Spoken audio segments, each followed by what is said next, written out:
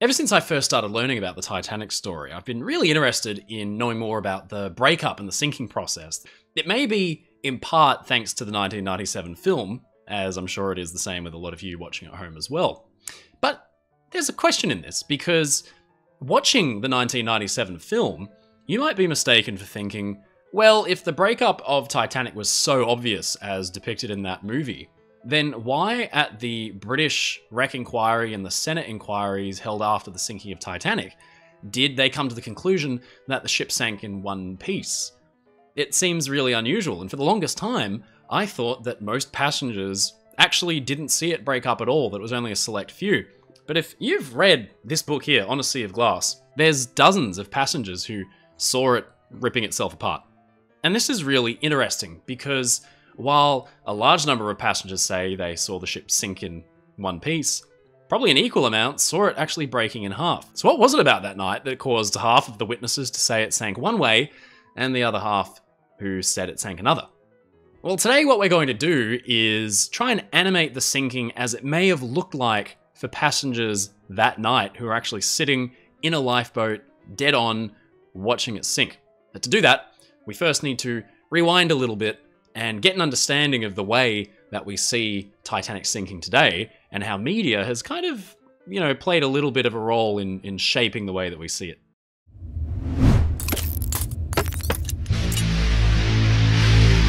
Now, first, let's have a look at the way that Titanic sinking has already been depicted in media and film, because media changes the way that we see historical events and it kind of shapes the way that we think things might have happened. So, in the context of Titanic, the sinking has been portrayed, you know, quite a few times. There's the probably the most famous and well-known sinking uh, sequence from the 1997 20th Century Fox uh, James Cameron directed film Titanic. Then, of course, A Night to Remember from the 50s, uh, the other 1950s Titanic film Titanic, and some series as well. Specifically, we'll talk more about the 2012 miniseries that show Titanic sinking in various different ways. And they all look distinctly different from one another. This is a really important thing here, because you've got a historical event that actually happened over here, and then the creative team behind this film over here, doing their best to try and bring this back to life.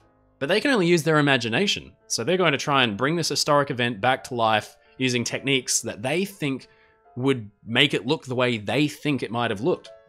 Now, this is really important because it means whatever the film shows is the director's idea of what happened. It doesn't mean it's necessarily what it really looked like. So we'll start with the 1997 James Cameron directed film. You see Titanic with its stern way up in the air, and the lights flicker out. It's a horrifying moment. And you have to remember, James Cameron is a brilliant action director. And this is what he does best. And as soon as the lights go out, you'll notice it's still pretty bright. There's this uh, god light that's shining over everything, and it's casting this this blue light over everything so you can still see what's going on. And this is really important because we know on the night the Titanic sank, it was a moonless night. There was no moon to illuminate, to cause this kind of light. But it was incredibly starry. It was a brilliant, brilliant clear night. There was no light pollution that you'd get standing in the middle of the city today. So you could see all the stars and it looked absolutely spectacular. But it meant that objects at a distance had almost no light shining on them. And there are two bits of testimony that stand out in my mind. The first is James Bissett, who was an officer on board Carpathia, which was the ship that was rushing to rescue Titanic's passengers. I did a video on that. I'll uh, put a link in the description because it's worth watching. But the Carpathia was charging through the night. They almost smashed straight into an iceberg like Titanic had. The only way that Bissett saw it in time is uh, some stars were reflecting off the surface uh, the top of the iceberg because there was no moon. Even though an iceberg is a big white piece of ice, it should be easy to see, it looked pitch black against the horizon. And they just saw some stars just reflecting off of it. And another way that we can tell that it was extremely, extremely dark and objects would have looked nothing like they, they appear in the 97 film is that both Frederick Fleet and Reginald Lee, who were the two uh, lookouts on board Titanic that night when she struck the iceberg, didn't say they saw an iceberg. In their testimony, they say they saw a black shape on the horizon. And this is really important because they probably connected the dots and said, oh, that's an iceberg. But it appeared like just a black form. So when we think about the 97 Cameron film, when the lights go out, you can see all the detail. You can count the rivets down the hull of Titanic. And of course, this is a Hollywood piece of media and entertainment, right? So James Cameron's primary objective is to make sure that you, as the viewer, are entertained and you can see everything on screen and you're enjoying what you're seeing. So they make creative decisions to this effect. Now, Ken Marshall, who's an absolute hero of mine and brilliant maritime painter and historian, served as a technical consultant on the 97 Cameron film. And there were many times, apparently, when James Cameron would come up to him and say, Look, I'm really sorry. You've uh, told me exactly how many lights there are on the exterior of the ship, but I just had to put more on so I could get more light onto my actors so we can see more of what's going on. Another great example of this down in the dining saloon, Titanic's dining saloon tables did not have lamps on them. But in that scene, they do. And the only reason for that is so that the actors had more light shining up at them to illuminate their faces and, and, and make them seem more natural so that shadows don't fall on their faces. Like me right now, I've got two lights uh, shining straight in my face at all times, and I still get shadows on my face. So lighting a scene is really, really important. Another creative decision they made on Titanic is casting this blue light over everything. They want you to know that it was a cold night, and so the way to do that is cast a cool hue of blue across everything. This is called color grading, and directors and production teams do it all the time to make you, the viewer, feel something. So, for example, you might have watched Breaking Bad or any TV series that has a scene set in Mexico. They always apply this yellow tinge in the color grading to make Mexico feel a little exotic and really warm. If you've ever been to Mexico, believe it or not, uh, there's not a yellow tinge on everything, but they want you to feel like you're somewhere else that isn't the United States and that it's warm. It's hot in Mexico, right? Saving Private Ryan, they wanted the film to feel gritty and realistic and a little bit like World War II newsreel. So they desaturated the colors way down and made it look a little bit black and white, like one of those old newsreel films. And it totally works. So it creates a mood. Titanic, they want you to feel cold when you're watching this scene, so everything is blue. Now, that has really coloured the way that a lot of people see the sinking of Titanic, because in a lot of contemporary depictions now, you'll see everything's all blue and washed out. Hell, even I've done it. You know, again, it's a creative decision. It probably wouldn't have looked like that in real life. So we know on the night of the sinking it was extremely dark. And this is really important because, again, um, on A Night to Remember, it looks like it was shot during daytime and it's really bright and clear and again, if it was that clear and bright, how could anyone have ever argued if Titanic broke in half or sank intact? You watch Titanic, 1997's Titanic, when it breaks in half, it's so obvious. So, how could people have argued against that and say, well, one side saying, no, it broke in half, and the other group saying, well, we saw it sink intact? Another thing that comes into play here is the sheer scale of Titanic and the witnesses' viewpoint of the sinking. If you are sitting side on to the sinking ship and a fair way away, you have a great vantage point to see the ship breaking side on. If you are really, really up close, you're not seeing the whole ship. You don't have this omnipotent, you know, bird's eye view of the sinking so you know everything that's going on.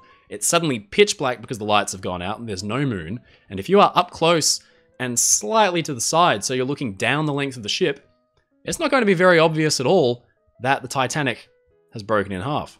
Now, one of my absolute favorite depictions of the Titanic sinking was from the 2012 miniseries because they kind of bucked the trend a little bit had the camera dipping in and out of the water as if you yourself were being immersed. And the breaking up of the Titanic happens kind of in the background, and, and you can see it's a little more subtle. It's not this very obvious break like the 97 film. In the 97 film, the Titanic stern just crashes down with this huge wave. And as a viewer, you think, well, everyone must have seen and felt that. But in the 2012 miniseries, it's a lot more subtle. And this now brings me to my final point, which is this idea of how the Titanic broke in half in the first place. You've got something the size of multiple city blocks in length that's the height of a 10 or 15 story building. And it's made up of a lot of individual pieces that all begin to fail and steel has a degree of plasticity. It's not just like glass, it's not going to shatter and immediately the ship's going to have exploded apart. Even in normal operation, the ship would be expected to bend and sag up to multiple inches at a time as it crested over the top of big waves, kind of like this. So you can imagine that as Titanic's breaking apart, the steel is failing, but it's doing so slowly as each individual member gives out from the strain and the stern begins to fall back, probably gradually into the water without any massive violence, creating this huge wave like you see in the 1997 film. That would make it a lot harder to see. So if you take these multiple things into consideration, that it's pitch black, there's no moon, you're probably fairly close up to the ship, paying attention not to the ship so much, but to saving yourself and to how cold the water is. And third of all, the ship is breaking up slowly and gradually. So what would it have looked like on the night in reality? Well, let's animate it and find out. Just a couple months ago, I animated this for the 110th anniversary of the wreck. Here's the animation. Now, I've color graded this and done the lighting to look a little bit like the James Cameron movie. To begin with, you can see it's nice and bright, and what we're going to do is just play this animation and I'm going to narrate a little bit of what's going on. And then what we're going to do is we're going to turn the lights off and we're going to make the lighting look a lot more like it might have looked like on a moonless night on the North Atlantic Ocean. And you can tell me honestly and truthfully if you would be very confident at an inquiry in saying that you saw Titanic break in half. Okay, here we go. So Titanic's lights flicker out at around about the time that her, her back breaks and now the stern is falling back gradually and slowly into the water as the funnels collapse. And the bow section, you can just see there to the right, separates from the stern and drops away.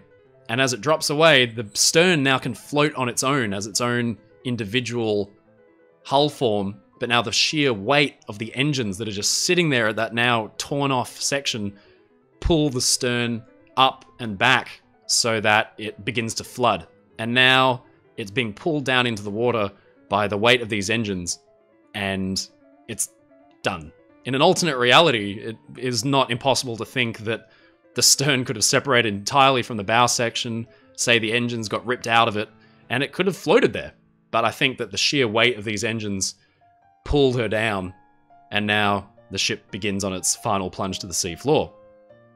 You may notice that there's a small lamp burning on the aftermast there. There are some accounts of lights remaining on the Titanic. Now, to what degree these were, whether it was a full emergency set that was burning until the end, I don't know entirely. There were some who say they saw one light, one or two lights still flickering. This could have been an oil lamp that was rigged to the mast there just to provide some visibility to passengers that night that they didn't extinguish before the sinking. Either way, I've just put it there to orient ourselves a little bit so you can see what's going on. And there, Titanic is slipping below the waves, and she's done. Now what we're going to do is play that exact same animation from exactly the same viewpoint, but we're just going to tweak the lighting to seem more natural and realistic as if it were a moonless night, and watch the sinking again. You can see straight away how much more disorienting and confusing this would have been, that you're not looking so much at a ship sinking now, you're looking at just a black mass illuminated only by the stars behind it. And I think only the most astute of people would have picked up that, oh, this ship has broken in half.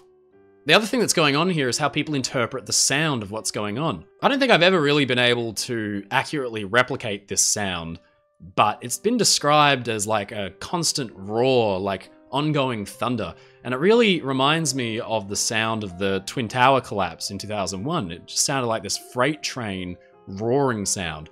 Now, on the night of the sinking, a lot of those who thought the ship sank intact interpreted this noise as the boilers and the engines falling through the uh, bulkheads of the ship as they came loose from their seating. We know that that didn't happen because they're all still intact on the wreck, the engines included. So what they were really hearing was the ship tearing itself apart. But in the pitch black, when you can't exactly see what's going on, you're sitting there interpreting this as, well, the ship's sinking in one piece and everything that's loose in the ship is now tumbling forward and it's creating this, this roaring noise. So there you have it. I love the James Cameron film. I really enjoy A Night to Remember. But it's interesting to think that our idea of what Titanic might have looked like sinking has been shaped and changed by this media over the years, and that Titanic sinking may have looked starkly different to what we have in mind. It's a pretty scary picture, to be honest with you, and I don't think I would have wanted to be there that night.